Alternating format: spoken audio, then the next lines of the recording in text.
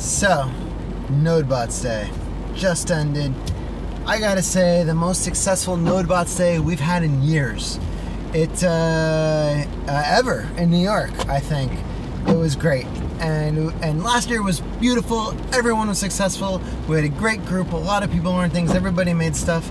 This year, the same. Twice as many people, half as much work, and you know, event can be successful for the attendees and it can be successful for the people who put on the event. And this one was successful for both.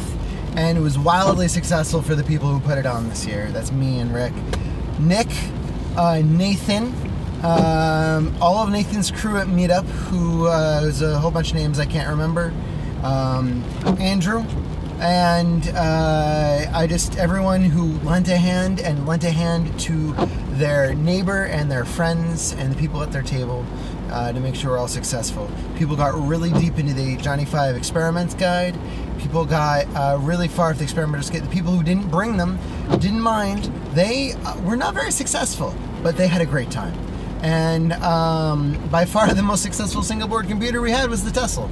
The chip took a while. The chip was hard if you had a modern, you know, computer with USB 3. The chip, the chip gave people a hard time. Uh, Resin IO doesn't support the chip yet, and that would have made life a lot easier. Um, but you know what? A lot of, a lot of fun was had. A lot of cool stuff. And um, I gotta say, uh, ScriptEd students made uh, wonderful conference attendees, and um, and if you're watching this and you're hiring interns, you should totally reach out to ScriptEd. They are a bright bunch. They take the best of the best of these schools, um, and I, I, I, don't even like I don't even want to call them kids, but uh, man, these kids are driven. So it uh, wonderful time. Um, and the 65 pounds in node bots is down to three. I think I've got three kits left. Some people didn't show.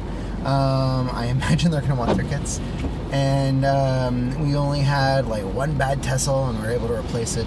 Um, and like that was, you know, for for having that many people and that many kits um, and that narrow margins on parts because uh, more people kept wanting to come and and it's not even after we made the orders like i bought a bunch of extra but you know uh, i just i'm just beside myself this was over overwhelming success.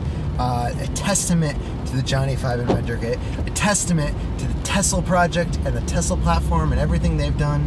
Uh, I, I, just I'm I'm I'm impressed. I'm impressed with all the work everybody has done to make this happen. That led to us being able to have this friction-free event today. So thank you, thank you, and um, talk to you later.